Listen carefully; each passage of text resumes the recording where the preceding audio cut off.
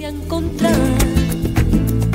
Soy así, ya es muy tarde para cambiar. Yo no espero nada, vivo sin rumbo. Solo quiero amar cada segundo. Soy aquel. Welcome back, everybody, to the A Little Less Fear podcast. Today, I would love to welcome Dr. Kelly Bohnhoff. Amidst the world's current trauma, Dr. Kelly Bohnhoff stands as an empathetic guide with a history of childhood adversity and sex trafficking, coupled with over 35 years of expertise as a registered nurse, licensed marriage and family therapist, and co founder of Josephine's Clinic, a nonprofit serving those who have experienced human trafficking and violence. She unveils her own spiritual awakening. In her new book, What's Going On with My Family A Roadmap to Healing Trauma, Unlocking Your Hidden Power, and Remembering What is Sacred, Dr. Kelly unveils the dormant power and sacred nature within every traumatized family waiting to be rediscovered. Welcome, Kelly, to, Dr. Kelly, to the Little Less Fear podcast.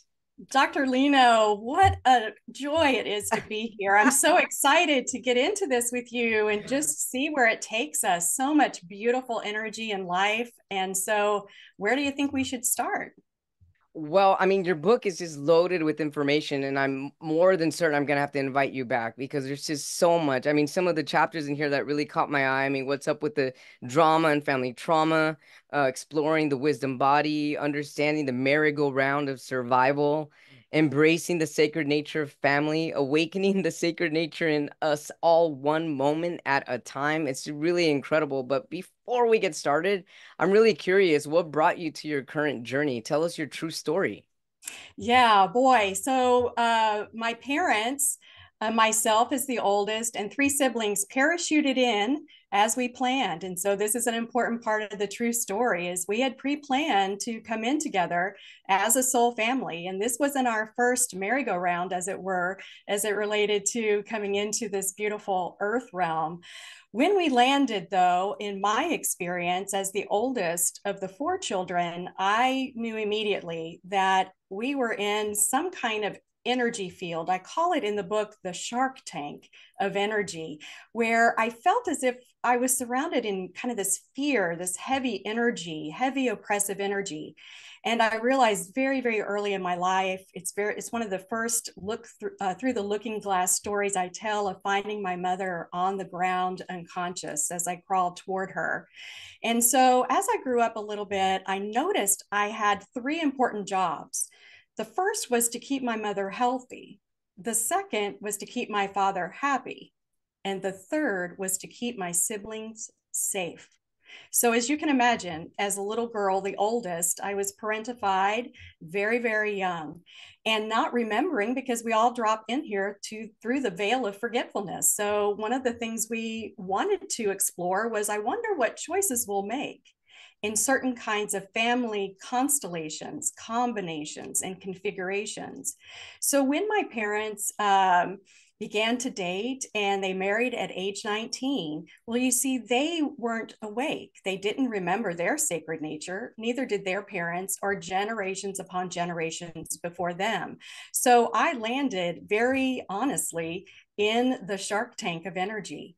And so, in the first seven years of life, what we know scientifically is that the child's brain and developmentally, we're just kind of looking around trying to make sure that we're going to survive this rodeo that we're in. We're trying to make sure. And so our brain waves and our ability, see, we're taking in everyone's beliefs and everyone's energy and everyone's ideas. And so at that time, uh, from conception, in my mind, I believe that it's when we start our journey uh, of forgetting, and then the rest of the journey is about remembering well, how do we remember when we are in a state of fight or flight? Yeah. And so, what I say uh, about the nervous system as a nurse, but also kind of jokingly now, is that my nervous system was nervous. it was yeah. nervous all the time. And so, with a head on a swivel, I really had a lot going on in my family. And so I say it in this way, in a very loving way, as I have been able to remember and and discover what was going on when we all landed here. So, in our pre planning, very quickly, my father and I chose to explore the energy of narcissism and empath which means that we had a lot of interesting dynamics there um, related to fear, related to frustration, related to control over, this kind of thing. My mother and I decided we wanted to explore the energy of neglect and abandonment. And so these energies and dynamics between myself and my two parents uh, were what the three of us had chosen to explore, little did we know.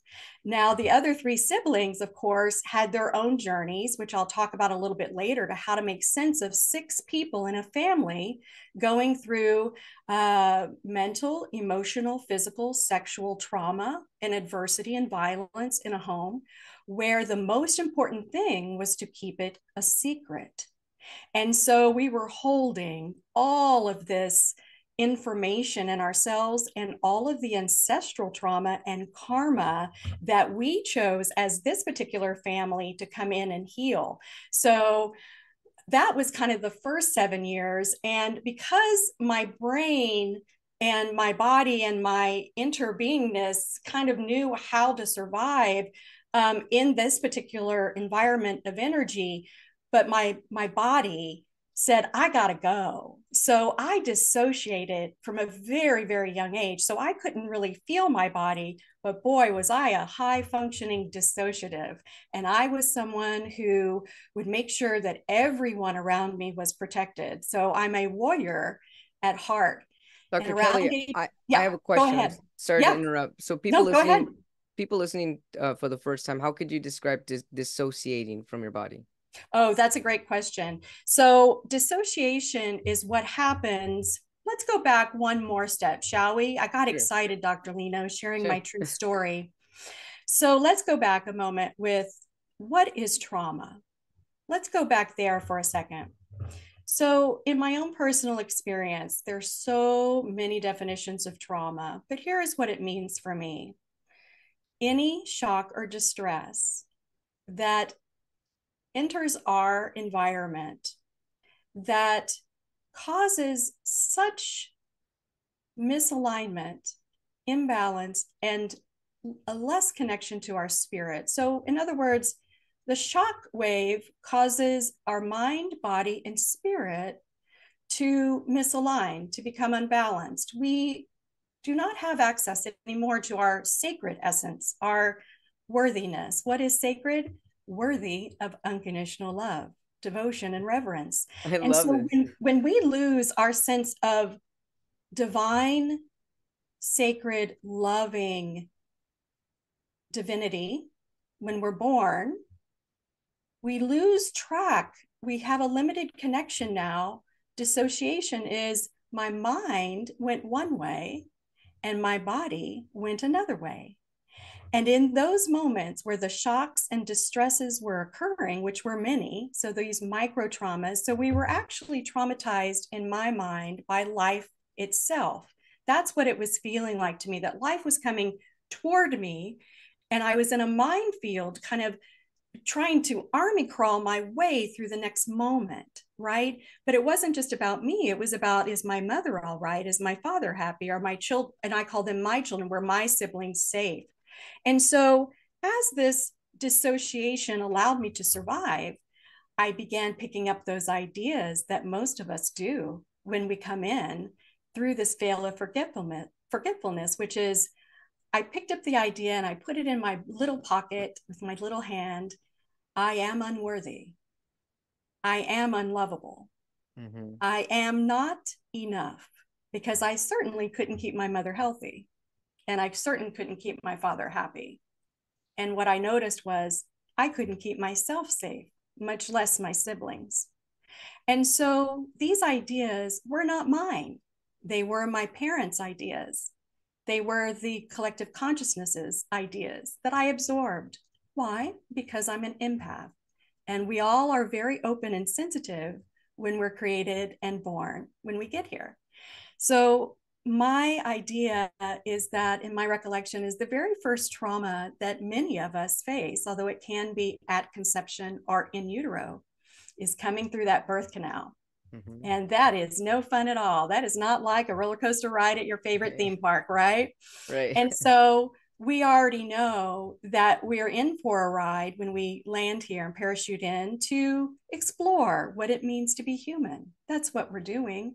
And we chose the families that we wanted to explore with because they would be this beautiful. I heard Regan say it in your previous podcast the divine sandpaper that yeah. each of us would need in order to remember and awaken. Mm-hmm. Yeah. Because for me and my journey, I had to get to a point of so much pain in my body, mentally, emotionally, and physically, that I didn't know if I was going to survive. That's the energy of stubbornness for me, was one that I danced with a lot in this sure. lifetime. I just was so stubborn and I didn't listen to the pain. And so I love stubbornness. I love the energy of stubbornness. And I love all the energy because it's all sacred, regardless of mm. what kind of energy it is. So let me just very quickly fast forward to okay. age 10 quickly, as this was one of the key points of the reasons why I parachuted into this particular expression of life sure. in this particular timeline and storyline. When I was 10, I was invited to an overnight and I was so excited because I could leave my house and I wouldn't be worried about anyone else. Mm-hmm. And I couldn't believe that I was invited. And when I entered that overnight, instead of listening to what I understand now as my inner guidance system, I walked through the door anyway. And I landed in energy that was even heavier and even deeper and even more violent and even more unspeakable than my home environment. And I was surrounded by the energy of trafficking. The family that I had walked into with my friend was a trafficking family. And I did not know. And I didn't pick up on it because I wasn't in my body. And you were and you were 10 years old at the time. 10 years old. And so what most traffickers do is there is force, fraud, and coercion the fraud part is an interesting one. They tell you how beautiful you are, how much they'll love you more than anyone else, right? Mm-hmm. And then when that doesn't work, because I didn't buy that. So the only way that they ever got me to do anything was when they threatened my friends and my family. And then I knew that there was nothing I could do mm-hmm. but survive the experience of it itself through that process, it went on 10 years 10, 11, and 12. And when we were in school, the girls who were what I call caught in that energy field with me, little did I know at that time that we had chosen to explore that energy, to heal that energy, which I'll talk about in a little while, yes. is that when we were in school, we would as I reflect now, we would huddle together in a pack because we knew that no one else could hear or understand but us. So we held this very tense secret. But there was also these things happening to our physical body as young girls. And with that came a lot of shame sure. and a lot of self hatred and a lot of overwhelm. And if we had not moved from the area, I really don't know what the outcome of that for myself would have been because it wasn't that long after that I started drinking mm-hmm. and that I started doing very impulsive things because I, I believe a part of me wanted to exit stage left for sure. And in fact, that came up many times in my teenage years. Okay. Because I couldn't figure out in my life story what I had done. Um, I was uh, raised in a Southern Baptist religion. And so I knew for sure I couldn't, I would not be going to heaven. That was a belief that I had. And why was that a belief that you had? The Southern Baptist Church in the religious uh, doctrine, although I could be saved by the baptism and and um, agreeing that Jesus is my Lord and Savior, uh-huh. There was something, and I did do that, by the way, because I wanted a chance to go to heaven. Sure. but I think a part of me, the deepest part, the, the part that was the most devastated and destroyed of my personality, didn't believe that even Jesus could save me. I see. And so I limped along, and I remember thinking many times, I was too tired to live, but I was too afraid to die. Mm-hmm. And I stayed in that space for a very long time. And the addictions were helpful to keep me on the earth. And I am so grateful to the addictions. I'm grateful for the ideas that I had that were not mine that I could finally navigate and understand in a way that as my own spiritual awaken- awakening unfolded that this book could come into the world because I ended up finding out that I am something called a blueprinter. I'm a map maker. Wow, I'm someone, that's amazing. I'm someone who's been in, on the earth almost a thousand lifetimes to Wow. try and figure out how to help families navigate and transform fear into freedom. And had love I not had every one of those experiences, had I not chosen to navigate these energies and to survive them in any way I could, you and I would not be having this conversation.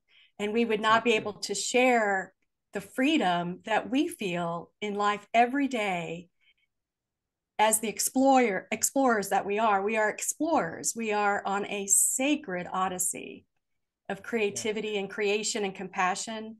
And i just want listeners to know that no matter what energy you've chosen to explore in this lifetime with whoever it is and whoever has played the villain in your story whether it's a parent a trafficker you name it fill in the blank. We are all here to recognize that within each of us is a villain, is a victim, but most of all, we are volunteers here having an experience where love is the medicine. So take love this. heart, take heart, and know if you can hear and just feel the resonance of my voice that even though the concepts and the ideas may feel a little overwhelming to you, your nervous system has been nervous your whole life. And that is natural. You are going through a natural part of evolution, and there is nothing wrong with you or your family. You are heroes. The hero's journey is honoring the energy of remembered oneness. And we all came here to heal, unlock our hidden power, and remember what is sacred. I love this.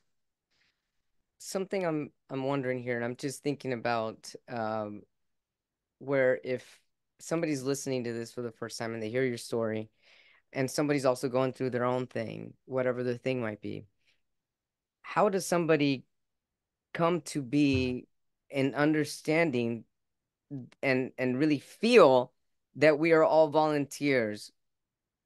How does somebody how can somebody say because uh I mean if if I were to if if I were to listen to this podcast before I became eh, on my awakening journey just 10 12 years ago I'd say how the heck did I volunteer to have my urinary bladder pulled out? I don't understand this. How did I volunteer to have 40 50 surgeries? That doesn't make sense to me. Like I I I love life. I don't want any of this pain. I mean, how does someone even start to begin to to just take a chip off that doubt and try to at least have some type of feeling of understanding that we volunteered? It's it's two words. I wonder. I wonder. I wonder if I'm a volunteer.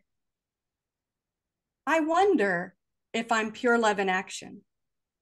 I wonder if I'm infinite intelligence, pure love, and sacred energy, here to heal and remember my own sacred nature, but also in doing so, become a wireless Wi Fi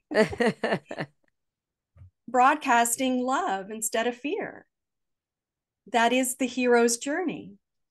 So for me, it started with asking different questions instead of why me? Mm-hmm. Why this? Why these parents? Why this situation? I went into this because I had no choice. I was on my face, literally. I mean, I I couldn't move. I was in so much pain. Hadn't listened to my body. I was 57 years old at that time. And I surrendered in that moment. I remember thinking, if there is any way that I can understand this, please help me. And then I heard, I wonder. And I thought, okay, I wonder. And then I just started writing questions. I wonder. And from there, because I'm a scientist and I didn't believe in what I couldn't see or feel, I had to learn to feel again. That was a very important part of it for me to feel these subtle energies of love and higher guidance. I had to get my body healed in order to get and to feel the subtle vibrations. But it started with those two words. I wonder if it's possible that my family and I planned this. I wonder if it's possible that I'm more than I could have ever imagined. I wonder if I'm more courageous than I ever thought I was. I wonder if the pain will ever end. I wonder. And it's in that compassionate inquiry where the door to self love began to inch its way open. And then the synchronies, synchronicities, and the I asked to be shown specifically by my higher guidance and my higher self if this is real, you'll have to show me because I don't believe it. I believe it. I'm not a stranger to the dark. And in fact, I prefer the darkness because at least there I know how to defend myself. What I realized was fear was the familiar energy aligned with resistance. Aligned with so what? I'm sorry? aligned with resistance. Okay. So if we think of ourselves and our families as energy, it's familiar energy aligned with resistance. So I take it out of my mental intellect and I put it into the quantum physics realm or the energy realm. Everything is energy. So now if I speak in terms of familiar energy aligned with resistance, well, what am I resisting? I'm resisting love, higher guidance, friends and family in the galactic and celestial realms, why would I resist that? Right. So I ask the question I wonder why I would resist love, joy, freedom, hope, fulfillment, happiness. Why would I resist the things that I think I'm looking for? I think I'm begging for. I think I had prayed for to someone about something. I would just love to take a breath without pain. Sure. And so I started with I wonder. And I realized Plato's cave came into my vision, the allegory of Plato's cave, where we're in the cave and we're watching the shadows on the wall. And we believe those to be what's true about money and health and relationships and technology and social media and all of our distraction and our focus is on the shadows on the wall. And those are the illusions. But someone gets up and says, I want some popcorn. So they don't want to stay in the show. They start to look around and they see light behind them. And they're saying, wait a minute, is this projection on the wall? And where's the popcorn? I'm getting hungry. So they start to walk. they go up the steps, but the, once they get to the steps, what do they see? This bright light and because they've been in the dark the whole time, they're afraid to walk into this bright light, which is love, right? Right. And so, what is it that humanity is learning again, remembering again, discovering again? Well, it's to allow love to be a part of their lives and then to remember, oh, yeah, I actually am love in action. Right. We were resisting love for the one for the, one of the deepest wounds that humanity is healing right now and it is the, the wound that is i am unworthy of love mm-hmm. and the Why is that? Have you have you asked? Have you wondered why that has been one of humanity's biggest, uh, I guess, biggest struggle? well from the human perspective the genetics of humanity for hundreds of thousands of years were genetically predisposed to survival. So our nervous systems are nervous. So we have genetic and energetic imprints right? So we are a unique and universal expression of life so we have genetics and epigenetics, which are kind of running our show until we turn those off. So if you if you have cancer running in your family or heart disease, which is running in my family, Mhm. then we have in our minds, well, it's running in our family. Chances are good I'm going to get it. Right? That's a belief. That's a chronic way of thinking. We go to the doctors, we get our medication, we take our blood pressure, and we just wait for the heart attack, right? We just kind of Yeah. almost self fulfilling prophecy our way in.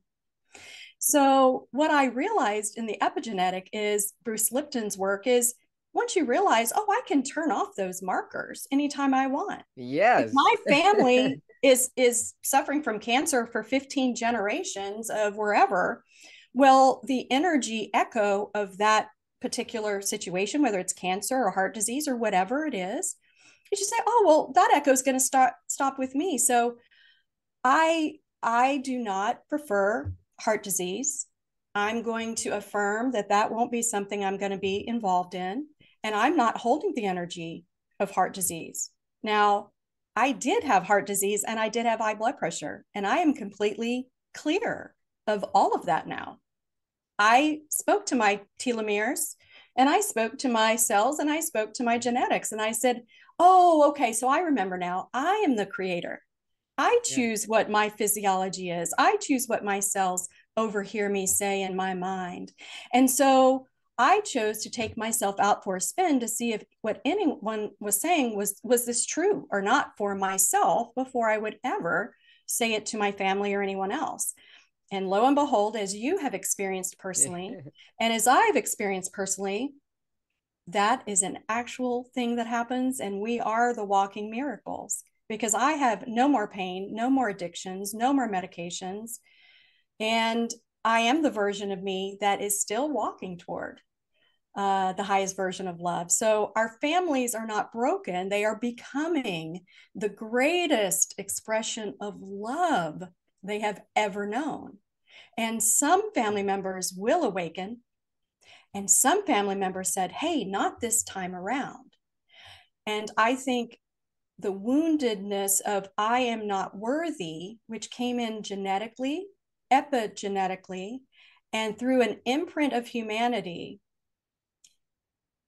we have been addicted to suffering for so long that we believe that that's all there is. Yeah, that's for So sure. the addiction, the overarching addiction of all addictions is a suffering itself. Yes. So once I decided I do not prefer to suffer, this is what suffering feels to me, looks like to me, sounds like to me, and what I am experiencing. This is suffering. So I use two powerful words I wonder. I love this. I love this, Dr. Kelly. I wonder. So then in wonder, do you still use the I wonder? all the time because it connects me closely to my inner child. And my inner child that I was finally able to bring back together and integrate, I had a tremendous amount of soul loss in this Mhm. lifetime. I had ripped through my aura.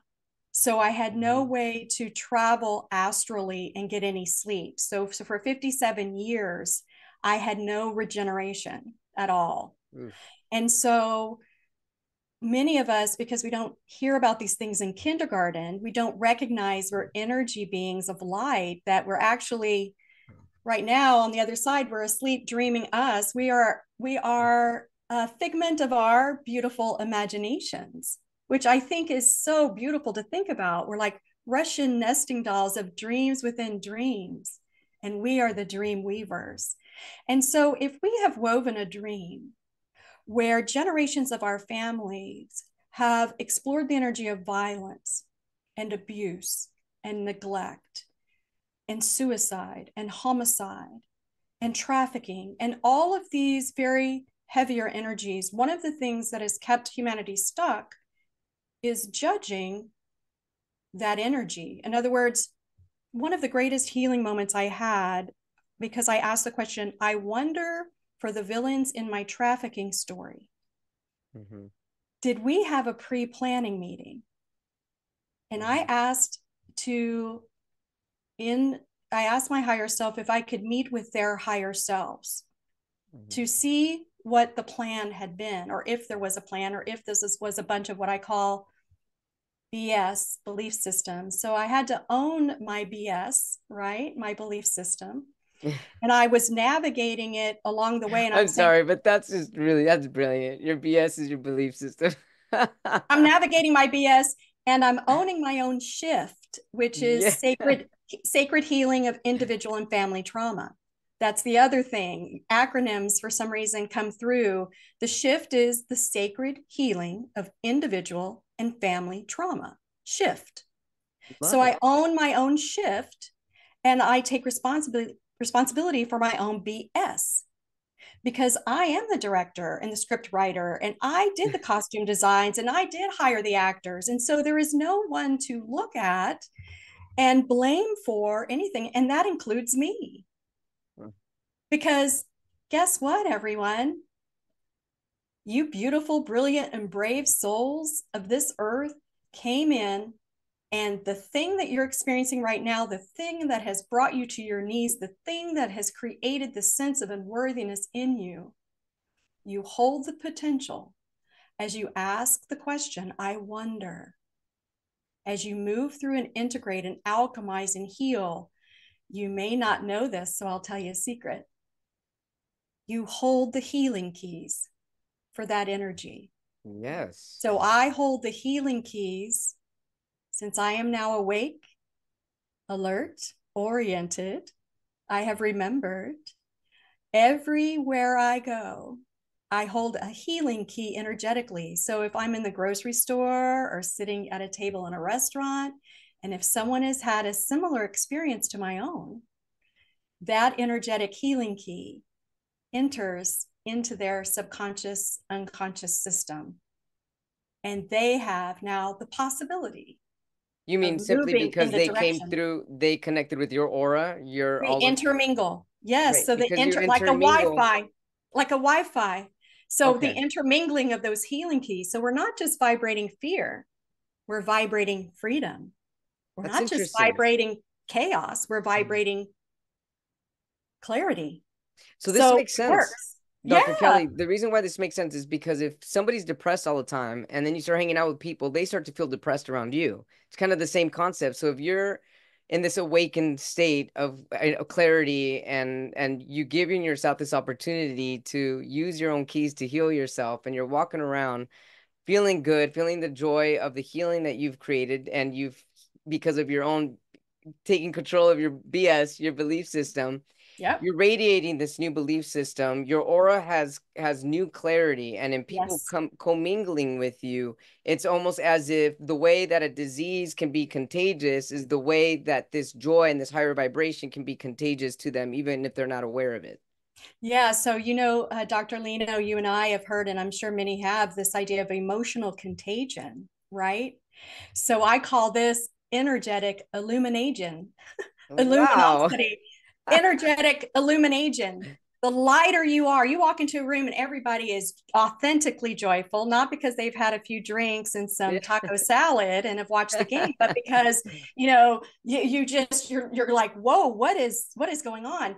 And on the other side of exploration, when spicy words are flying and you're passionately animated, you hit the doorway of a home or a car or someone is in in wherever you can feel the energy. Something has just happened. right? You can Right. feel the heaviness of it. So it's the sa- excuse me, it's the same thing. It's just in its opposite spectrum. So from fear to love. So we're just exploring, we're explorers of the energy spectrum of fear to love. And once we realize, oh, what do I prefer? Well, then this is where everyone starts to go, but I don't have enough money. Mhm. I, my husband, wife, romantic partner, boss, daughter, son, friend, they're never gonna. That's ne- that's never gonna fly. That's they're just not gonna do it. And so that's when I start again because my whole life had been living outside in and upside down. So yeah. because now I want to live inside out, right? Yes. And upright. So everything external to me is the mirror. And once I realized every person in my life was a mirror to my inner world, I started to, and when my husband and I were getting spicy words and passionately animated, we had some healing between us because we also came in. We also had had a plan for our marriage to come in. Mm-hmm. We had been together many times and hadn't made it. So this time we said, I think we're going to make it this time. And we, and we, so far we have. Every breath we take is a new breath. But for the inside out, upside down stuff, I realized every time uh, my ego, I love the energy of the ego. I hope we can talk about that. But the ego would say, you know, my husband's name is Bill. You know, he really wants to go have Mexican food. And I'm saying, well, but I don't really want to go for the seventh day in a row. But I don't want to make a ripple. I don't want to make a ripple. Right. Right. So what I learned to say was, I wonder if I said what I thought. I wonder if I said what I really felt. I wonder what would happen. So the moment I took my inner power, I started taking my inner power once I could feel, I said, Bill, I wonder if we could take a break from that and go here instead. And Uh-huh. after 38 years of marriage, this guy who is the love of my life, my my twin flame, he says, Well, of course. Sure. All all you had to do was ask. What? right? So that is part of the journey so far that I wanted to share with you what I've learned so far. And oh, to be free, Dr. Lino, to be free and to not be afraid all of the time is so magical. And it's all within us. It is all within us. I love this. And I feel your your magic. I feel your joy and I just feel in perfect alignment. I'm just really blessed that you're able to tell us your incredible true story and and definitely motivate people is what we're doing. That's what we're here for. I have a question here. So, energy of the ego. Can we talk about this? Yes. So again, as I became uh, more trusting, because one of the things there, let me let me go with let me go with the ego first, and I'll tell you the three themes that humanity is healing. So we go from micro to macro. Okay. So ego. Yes. So as I was uh, still recovering from all the stuff I was trying to detox my body from, I had to lay around a lot. I wasn't able to move a lot, and and so I listened to channel messages. I read just a ton of books and all of this kind of stuff, and I kept noticing that the ego is something that everybody was really having a hard time with, or the language of the ego was like in the spiritual community was like the ego is a villain, like we have to go through an ego death for instance this this kind of language around well it's an ego death and the ego needs to step aside or it needs to be in the back or whatever all that is right. and so i decided to check in with ego but the first thing i thought was what is ego to, what is the ego to me and i realized the ego because as i've been integrating the other parallel versions of myself and my higher self the integration of of many things. So I've, I've got all these really interesting things. Poetry i've never written poetry before but poetry is coming. But acronyms began to come through and ego is and i don't use the word uh, god very easily for me because i'm still working on that word but experiencing god as other ego or ego experiencing god as one so when I checked in with my ego, you've um, you probably have seen the uh, movie Inside Out. I haven't. oh my friend you're going to need to go you're going to need to go so this may not make a lot of sense but the movie Okay. is this beautiful um, idea where this young girl has all of her in her mind she has like a buffet of anger and sadness and joy and this that and the other and so they do all the internal dialogue of how she's moving through her life so I, I created that in my mind. Once my imagination came back online, when we're small and we hit the energy of the shark tank in that heavy fear, our imagination and creativity goes offline because in order to survive, if our imagination stayed online, then our imagination would take us to even darker places, right? Imagining yes. dad's coming in or kids are hurt or whatever it is. And so our imagination left the building until such time as I could uh, release the dense debris of energy in my body and have more light come in. And then I could imagine again in safety and security and trust that I could imagine. So I imagined it like this inside out movie that Pixar made. So I every day, many sometimes several times a day, I I have everybody in a, at a round table with their favorite beverage, and my mind, my human mind, shows up, my ego, and I ask my ego, "So, are you experiencing God as one? Do you feel like Mm-hmm. you're a part of the group or do you feel like you're out of the group? And when I did, I call it the ego diaries. I interviewed my mind, I interviewed my ego, I interviewed my body, I I love this. I interviewed my soul, and I interviewed my my spirit, my higher self, like the view, you know, like a daytime talk show. And I'm sitting there as Kelly, Dr. Kelly, as the human, and I'm like, mind, would you mind explaining to me why you cannot calm down. Why are what is 70,000 thoughts a day? What is happening for you right now? I wonder what's happening for you. And then I did that for the ego. What the ego said, Dr. Lino, the very first time I even asked the ego how it felt, what was going on with it. It's I asked the ego for its story. And my beautiful ego said, because our egos are unique to the incarnation. So this ego will will go into uh the whole of my soul right? Uh, in my spirit. When when this beautiful body dances into eternity die. Dances when i dance into the other side of awareness this particular ego integrates. So this ego is my beautiful ego for just this this go round. So i asked the ego um hey sister what's what's up? Like you know because there's a lot you need a lot of validation. I'm seeing a lot of self-sabotage. Uh, you know you're you just or what tell me what it is you are really here doing. And it said i feel like you want to kill me. It said because you're you're reading all this stuff and you're wondering if the ego if i need to go somewhere i need to be out of your life or whatever and I remember writing in my journal, I was in tears. The ego said, The only thing I have ever wanted to do was to keep you safe. And wow. I was like, wow, well, why is why is everyone so hard then on the ego then Yeah, you know right. why is it that we feel like it needs to be uh, placed in the back seat or given a vacation or you know whatever and so i chose in that moment to imagine and I do this just like I, I showed up once the fragments of my soul loss. I had several parts of my soul at different ages in different realms and spaces and places. And a shaman helped me to retrieve them. But once everyone was back in, as it were, then I am devoted to my own well being first my mind my ego my body my soul my spirit and i do a i do a check on my inner guidance system. How's everyone doing? And if any part of me is starting to show up and the nervous system is getting nervous then all Yeah. that means is i wonder what is ready to heal next. Because we're healing in layers upon layers of ancestral eons of trauma.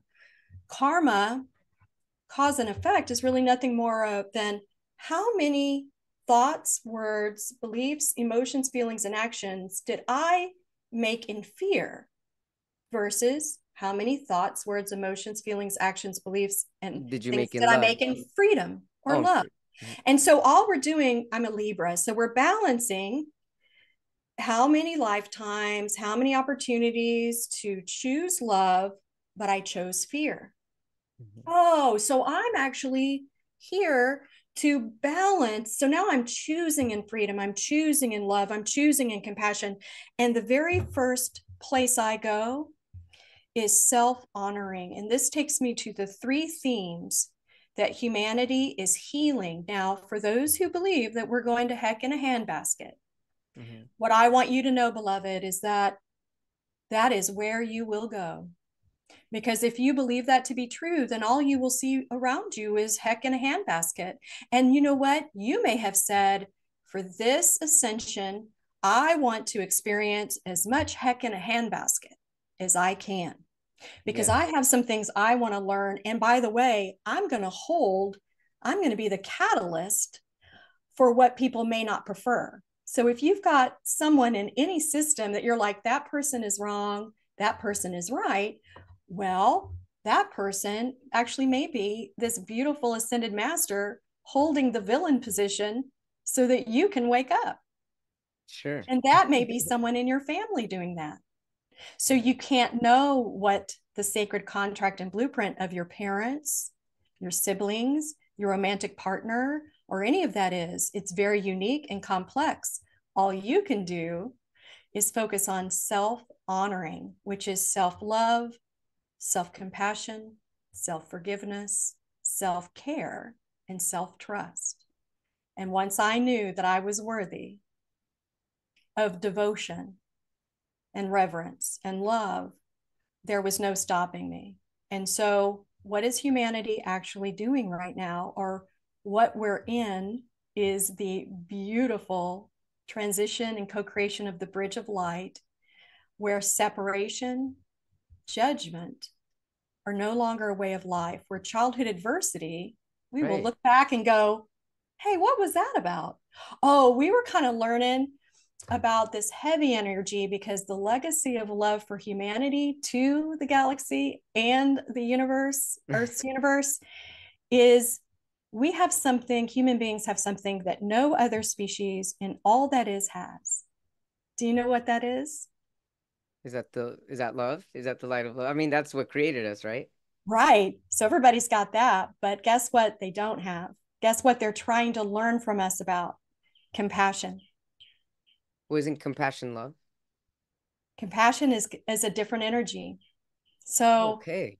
unconditional love is the highest. But how do you have so this is what you and I were talking about, Dr. Yes. Lino.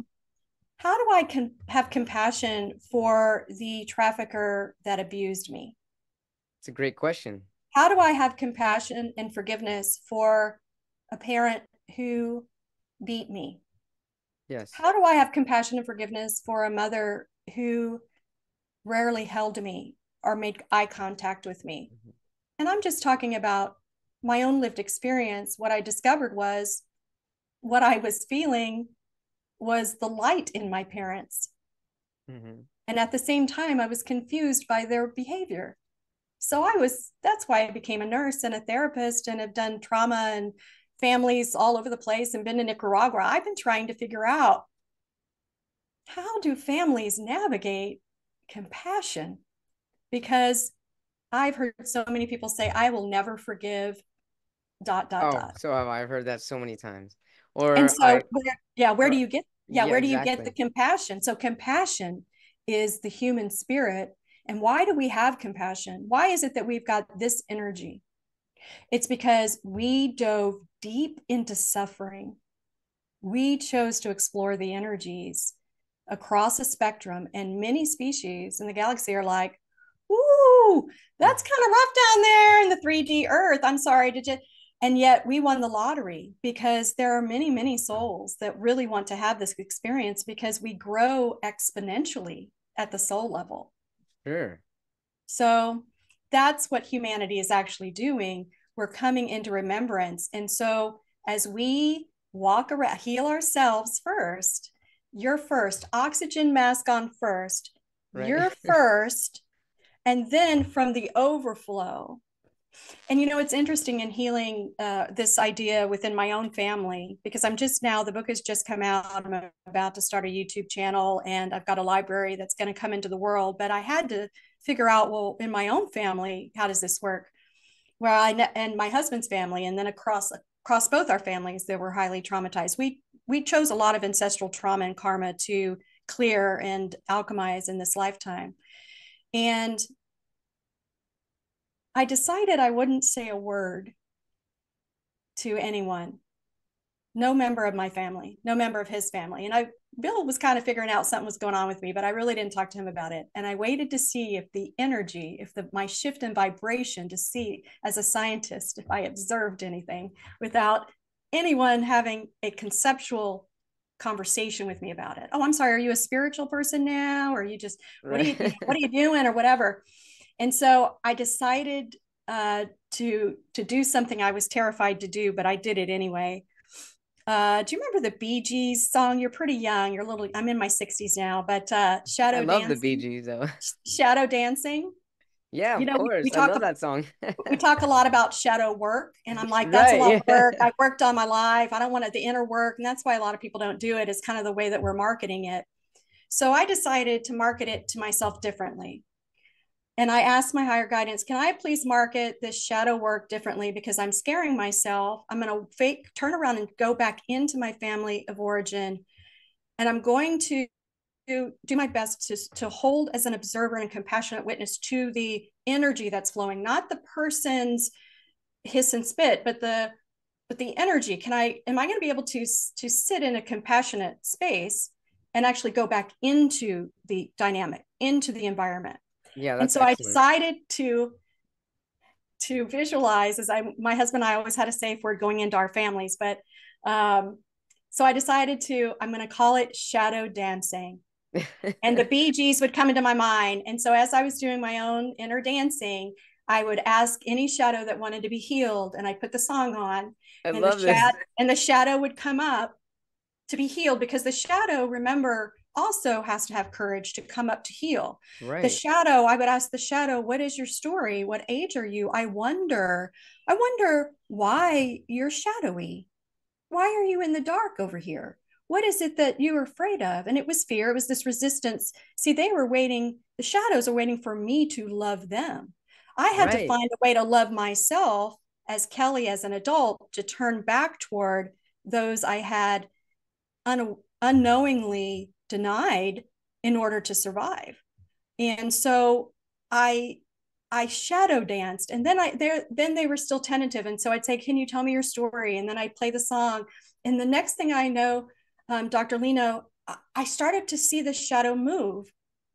And I decided, there it is, there it is. And so all we would do is dance.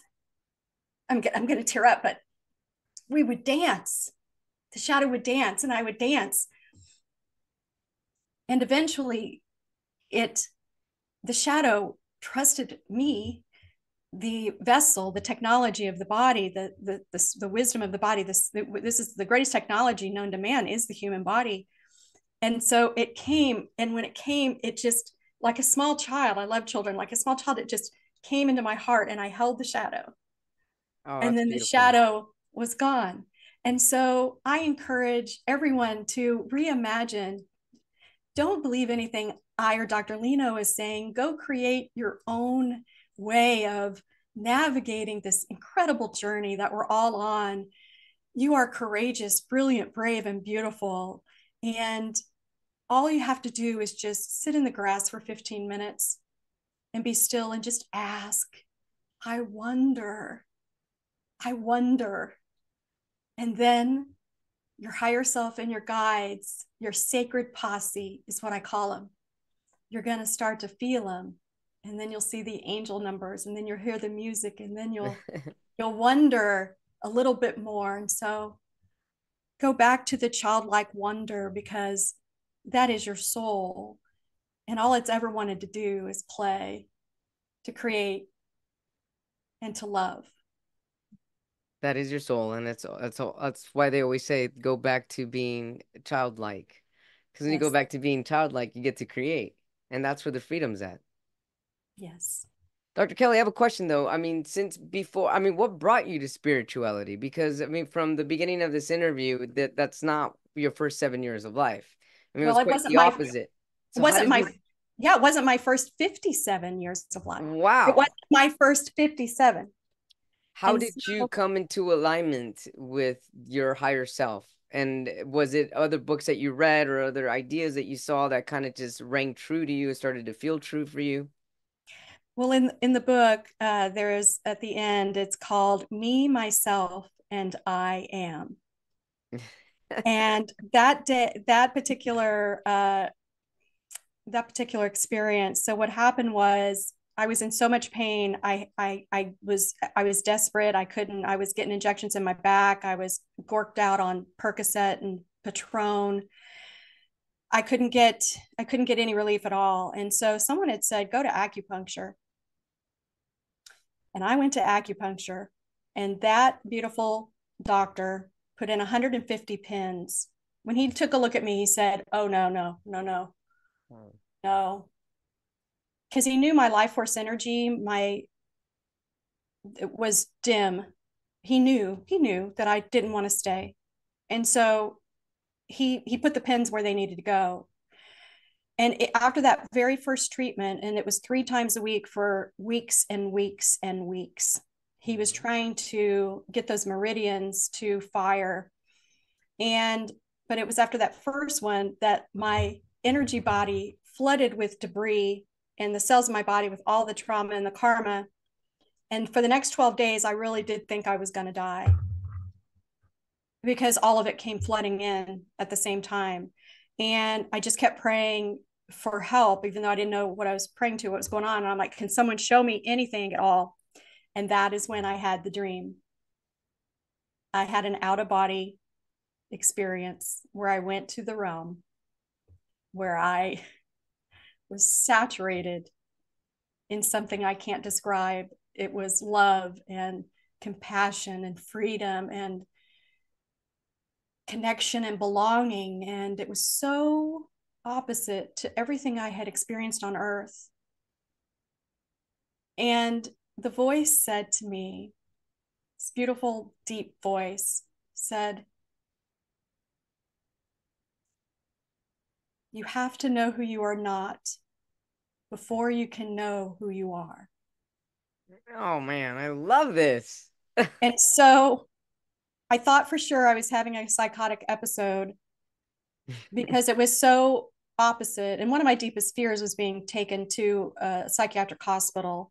Um, and um, and so that was the that was the little bit of an opening. And then over time, uh, I had guides who came to assist me with Reiki and shaman and QHHT hypnosis and know thyself. And so I began to know thyself. I began to purify my beautiful body so it could hold more light.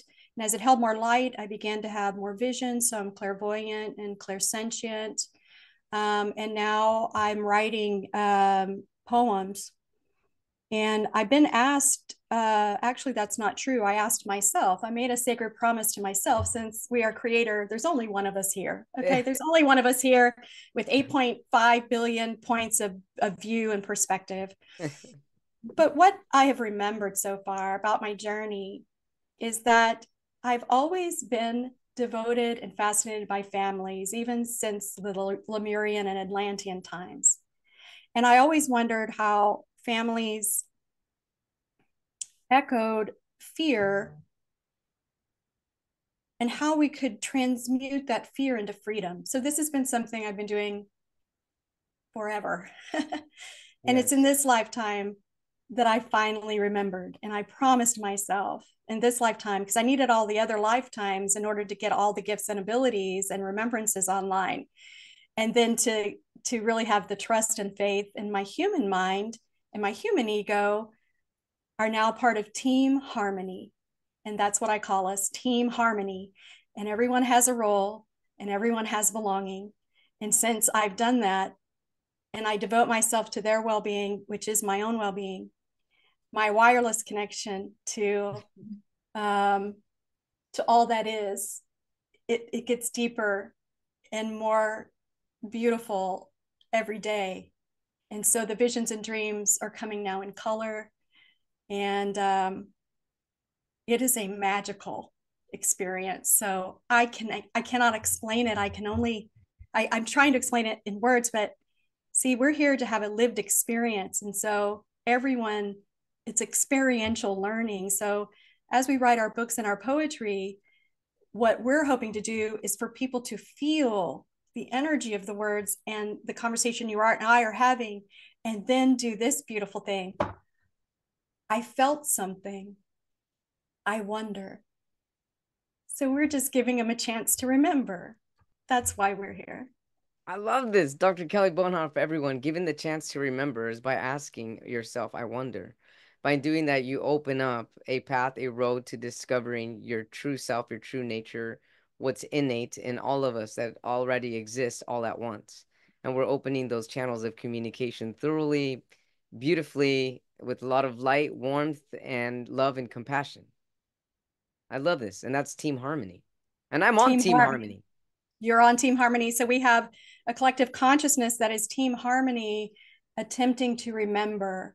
And that is why we're seeing what we're seeing in the world. Because as you and I know, coming through what I call, so I'm a recovering caterpillar. I went through the chrysalis where we all get liquefied and everybody's knowing thyself. Well, it's a messy, it's a messy, maddening, magical, miraculous, and mysterious business that we're all in. Sure. So, for those of us who are awakened, we're just holding sacred space so that anyone who needs, needs to hiss and spit on their way by, we hold them without judgment to yes. whatever they need to do. Because, see, that anger is as sacred as abundance is sacred, all energy is sacred. But when we start to do that duality polarity, you know, we're in a, I hear the war, you know, we're in a war between darkness and light. Well, when I hear someone say that, that's fine. That's beautiful. That's where you are and you're part of the journey. But right. you see, darkness and light are made of love. Yeah. And so there is no duality at all. There's just oneness. There's just team harmony. And humanity is integrating and alchemizing and remembering. And the solar flares and the Schumann resonance are assisting us. And because of the energy of stubbornness, some people will be going through that process with more pain than they may prefer. But it, but it, with anyone who comes within my bandwidth or my uh, my energy field, if they ask me, Kelly, how can I, how can I go through this with more ease, with more joy, with more fulfillment? I got to get this mm. stuff out of me, but how do I do that? Yeah there are three things that you can do. So just like you were talking, was it the Buddha that said something about suffering? Remind me what yes. you were saying. Just because you are suffering doesn't mean you have to be in pain. And just because you are in pain doesn't mean you have to be suffering. Right. So when you notice that you are suffering, you have a thought that is disempowering in any way or in judgment of yourself or anyone else. Yes. Take, take these three very simple steps when we were in school, we heard that if someone was on fire, they were to stop, drop, and roll. Yeah. Right? okay. So I imagine this as stop, drop, and be. Stop and be still. Drop into three breaths, deep breaths, and now be present in the messy, in the maddening, in the magical, in the mystery, in the miracle that is you. Allow it to be messy and just know that it's information. I had so much rage, Dr. Lino, that I ended up, I was trying to figure out how to dispel that energy of rage that wasn't just mine, it was ancestral line. So I ended up boxing for one year and I ended up going to rage rooms. That's what worked for me. So I didn't judge the rage, although I was terrified of it. But I befriended it. And I said, What do you need? I wonder, what do you need? And it said, I need to move. Show me what this. you need. I need to move. How do you want to move? Let's go boxing. Boxing? I'm a 60 year old woman. What am I doing in a boxing ring? Whatever. Okay. So these are the little things that I just discovered, learned, imagined that I share with everyone because they're free.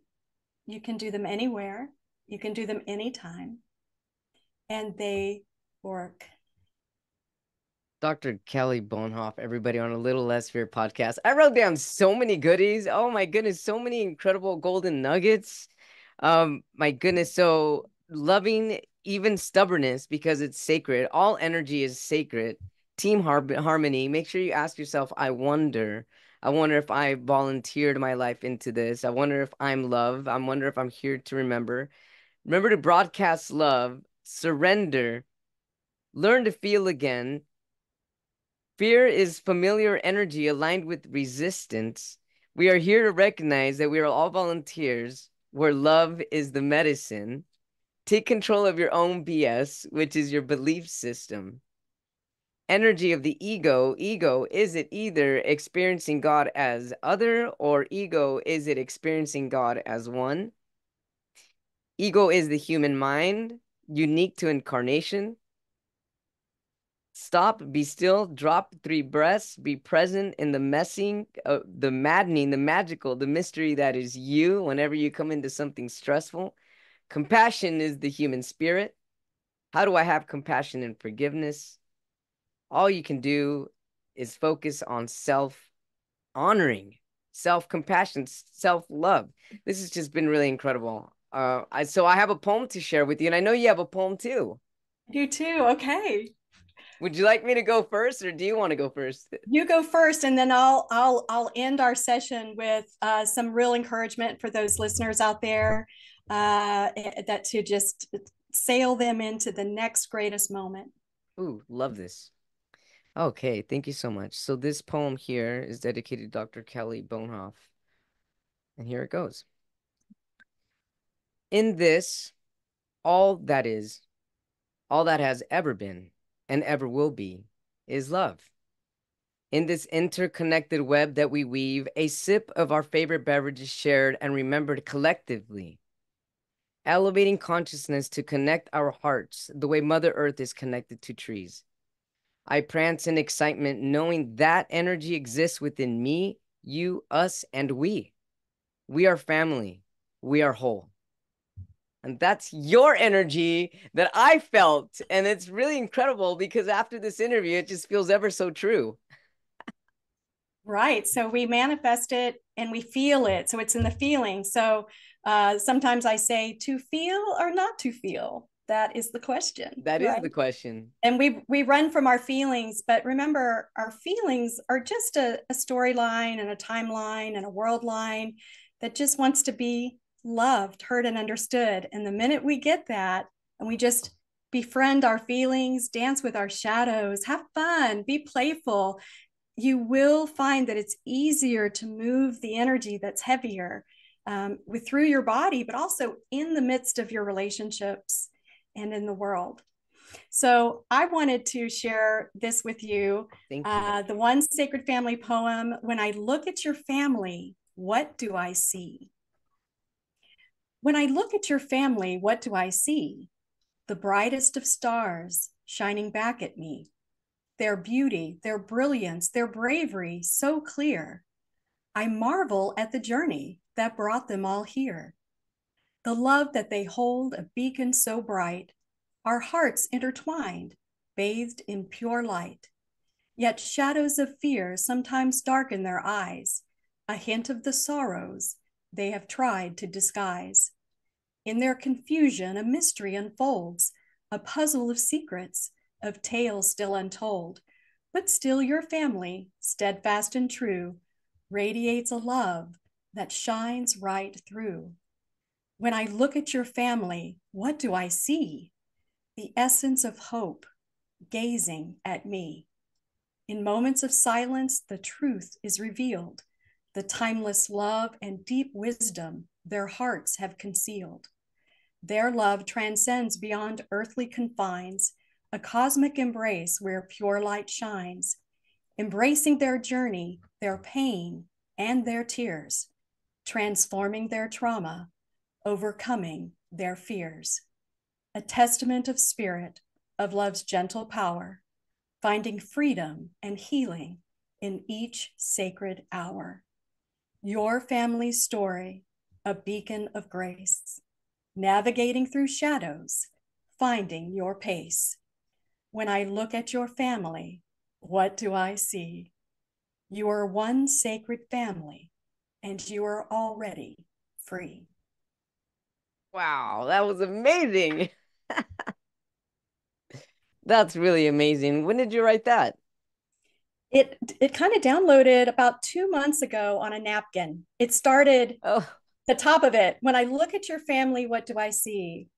And then it it just unfolded and I just kept writing and then it and then it manifested and then it came into when I look at your children and then when I look at myself and then when I look at my husband. And then so it was this uh this unfolding of several points of view as it relates to relationships. And this one to me is uh, very powerful as it relates to our families our human families and what the world has to look for. And uh, I do vision and have dreams where childhood adversity is no longer a way of life, where we will no longer echo fear, where only love exists and hold it because it's in the visions where we will co create. We are co creating. I actually live in heaven on earth right now. And yes, so you do. you. And thank you for sharing your heaven on earth here with me on a little less fear podcast. Where can our viewers, our watchers, and our listeners find you and your book? What's going on with my family?